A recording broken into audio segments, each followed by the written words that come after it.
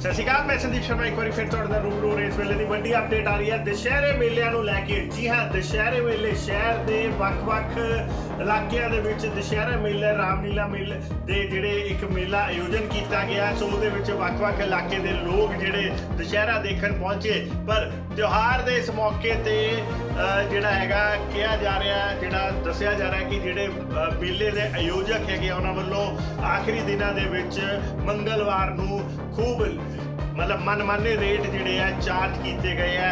ਇਦਾਂ ਦੀ ਖਬਰਾਂ ਸਾਹਮਣੇ ਆ ਰਹੀਆਂ, ਖਬਰ ਸਾਹਮਣੇ ਆ ਰਹੀ ਹੈ ਚੰਡੀਗੜ੍ਹ ਰੋਡ ਤੇ ਮੋਨੀ ਰਿਜ਼ੋਰਟ ਦੇ ਨਾਲ ਲੱਗੇ ਮੇਲੇ ਤੋਂ, ਜਿੱਥੇ ਦੀ ਦੱਸਿਆ ਜਾ ਰਿਹਾ ਕਿ ਜਿੱਥੇ ਸੋਮਵਾਰ ਤੱਕ ਜਾਂ ਇਤਵਾਰ ਤੱਕ ਜਿੱਥੇ ਜਿਸ ਝੂਲੇ ਦਾ ਜਾਂ ਜਿਹਦਾ ਰੇਟ 30 ਰੁਪਏ ਸੀ, ਉਹ ਜਿੱਥੇ ਮੰਗਲਵਾਰ ਨੂੰ ਉਹਦੀ ਰੇਟ ਲਿਸਟ ਹੀ ਚੱਕ ਦਿੱਤੀ ਗਈ ਗਾਇਬ ਕਰ ਦਿੱਤਾ ਗਿਆ। ਉੱਥੇ ਹੀ ਉਹ ਰੇਟ ਜਿਹੜੇ ਆ ਡਬਲ ਚਾਰਜ ਕੀਤੇ ਜਾਣ ਲੱਗ ਪਏ। ਗਾਹਕਾਂ ਤੋਂ, ਸੋ ਗਾਹਕਾਂ ਨਾਲ ਲੁੱਟ ਖਸੁੱਟ ਹੋਈ। ਤਰ੍ਹਾਂ ਦੀ। ਹਾਲਾਂਕਿ ਇਹ ਇਸ ਚੀਜ਼ ਦੀ ਜਿਹੜੀ ਨੌਲੇਜ ਹੈ ਜਾਂ ਇਨਫੋਰਮੇਸ਼ਨ ਹੈ, ਉਹ ਆਪ ਦੇ ਵਿਧਾਇਕਾਂ ਨੂੰ ਵੀ ਲੱਗੀ ਹੋਈ ਸੀ। ਤਾਂ ਹੀ ਸ਼ਾਇਦ ਮੰਗਲਵਾਰ ਨੂੰ ਲਗਾਤਾਰ ਐਮਐਲਏ ਅਸ਼ੋਕ, ਪ੍ਰਾਸ਼ਰ, ਪੱਪੀ ਵੱਖ-ਵੱਖ ਖੁਦ ਆਪ ਆਪ ਹਾਊਸ ਦੀ ਮੀਟਿੰਗ 'ਚ ਐਕਸੈਪਟ ਕਰ ਰਹੇ ਸੀ ਕਿ ਲੋਕਾਂ ਨਾਲ ਆਮ ਜਨਤਾ ਨਾਲ ਲੁੱਟ ਖਸੁੱਟ ਕੀਤ ਕਰ ਰਹੇ ਹੈ। ਜਿਹੜੇ ਮੇਲੇ ਦੇ ਆਯੋਜਕ ਹੈ ਉਹਨਾਂ ਨੇ ਦਰੇਸੀ ਦਾ ਵੀ ਇਦਾਂ ਦਾ ਹਵਾਲਾ ਦਿੱਤਾ ਕਿ ਦਰੇਸੀ ਦੇ ਵਿੱਚ ਵੀ ਇਦਾਂ ਦੇ ਲੁੱਟ ਖਸੁੱਟ ਹੋ ਰਹੀ ਹੈ। ਪਰ ਉਹੀ ਦੇਰ ਸ਼ਾਮ ਤੱਕ ਜਦੋਂ ਅ, ਦੀ ਟੀਮ ਨੇ ਸਟਿੰਗ ਕੀਤਾ ਹੈਗਾ ਮੋਨੀ ਰਿਜ਼ੋਰਟ ਦੇ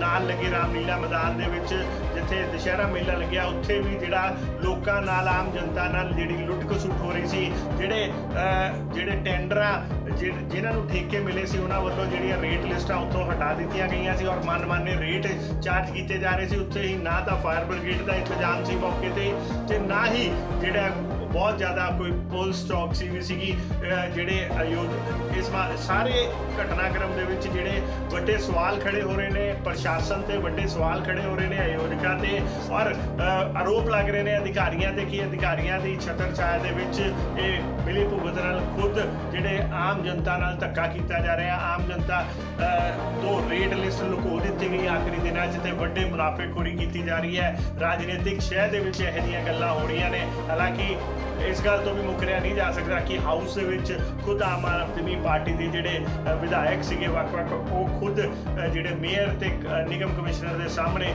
ਇਸ ਚੀਜ਼ ਦਾ ਮੁੱਦਾ ਚੱਕ ਰਹੇ ਸੀ ਫਿਲਹਾਲ ਆਓ ਦੇਖੀਏ ਮੌਕੇ ਦੀਆਂ ਤਸਵੀਰਾਂ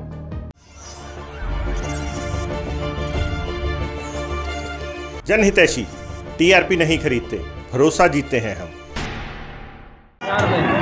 ਇਹ ਤਾਂ ਕਹਿੰਦੇ ਸੀ 30 ਰੁਪਏ ਬੱਚਿਆਂ ਦਾ 30 ਰੁਪਏ ਦਾ ਤਾਂ ਵੱਡਿਆਂ ਦਾ 50 ਦਾ मज़ा ही ला रहे हैं। इनको बोला शो कितने बजे शुरू हुआ है? हाँ। तो आधा घंटा पहले। ठीक है। ठीक है? मैं बोला कितने घंटे का शो है? बोलता तीन घंटे का। अच्छा। उधर से तो उधर से निकाल दिया। नब्बे रुपए ले लिया किस चीज़ का लिया? तीन घंटे का शो? हाँ आंकड़े ने बोला। मैं वही बोला और तीस रुपये पर बंदे पे लिया। मैं था और मैडम भी साथ में सी मैडम कहाँ गई? सब लोग के साथ अच्छा।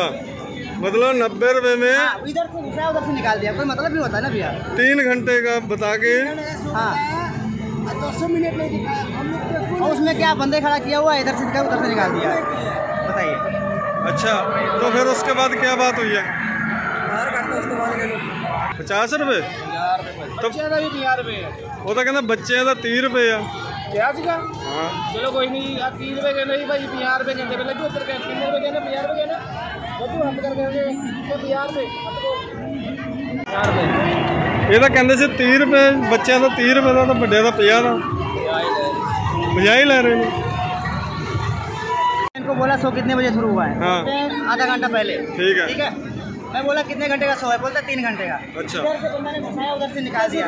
नब्बे रुपए ले लिया किस चीज़ का लिया? तीन घंटे का शो? हाँ ने बोला। मैं वही बोला और तीस रुपए पर बंदे पे लिया। मैं था मैडम भी साथ में थी मैडम कहाँ गई?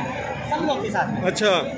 मतलब नब्बे रुपए में हाँ, इधर से घुसा उधर से निकाल दिया। कोई मतलब भी होता है ना भैया? तीन घंटे का बता के। हाँ।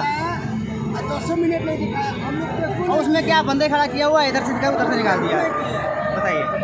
अच्छा तो फिर उसके बाद क्या बात हुई है? पचास रुपए?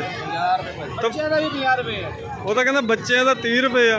क्या सीखा हाँ। चलो कोई नहीं आप तीह रुपये कहना भाई पंजाह रुपये कहते पहले जो तेरे तीन रुपये कहना पंजाह रुपये कहना। बच्चों हम कर पंजाह रुपये पंजाह पे ਕਹਿੰਦੇ ਬੱਬੂ ਹੱਥ ਕਰ ਕਹਿੰਦੇ ਕਿ 50 ਰੁਪਏ ਹੱਥ ਕੋ 50 ਰੁਪਏ ਇਹ ਤਾਂ ਕਹਿੰਦੇ ਸੀ 30 ਰੁਪਏ ਬੱਚਿਆਂ ਦਾ 30 ਰੁਪਏ ਦਾ ਤਾਂ ਵੱਡਿਆਂ ਦਾ 50 ਦਾ 50 ਹੀ ਲੈ ਰਹੇ ਨੇ इनको बोला शो कितने बजे शुरू हुआ है हाँ। बोलते हैं आधा घंटा पहले ठीक है। ठीक है मैं बोला कितने घंटे का शो है बोलता तीन घंटे का अच्छा। इधर से बंदा ने घुसाया उधर से निकाल दिया नब्बे रुपए ले लिया किस चीज़ का लिया तीन घंटे का शो हाँ अगले ने बोला मैं वही बोला और तीस रुपए पर बंदे पे लिया मैं था वो मैडम भी साथ में थी मैडम कहाँ गई सब लोग थे साथ में अच्छा मतलब नब्बे रुपए में हाँ, इधर से घुसा उधर से निकाल दिया। कोई मतलब नहीं होता ना भैया। तीन घंटे का बता के हाँ। तो क्या बंदे खड़ा किया हुआ इधर से निकाल उधर से निकाल दिया। बताइए। अच्छा तो फिर उसके बाद क्या बात हुई है? पचास रुपये तो तब वो तो कहना बच्चे हैं तो तीह रुपये है। क्या हाँ। चलो कोई नहीं तीह रुपये कहना भाई पंजाह रुपये कहते पहले जो उत्तर कहते पंजाह रुपये कहना पंजाह कहना। वो हम कर देंगे तो बिहार में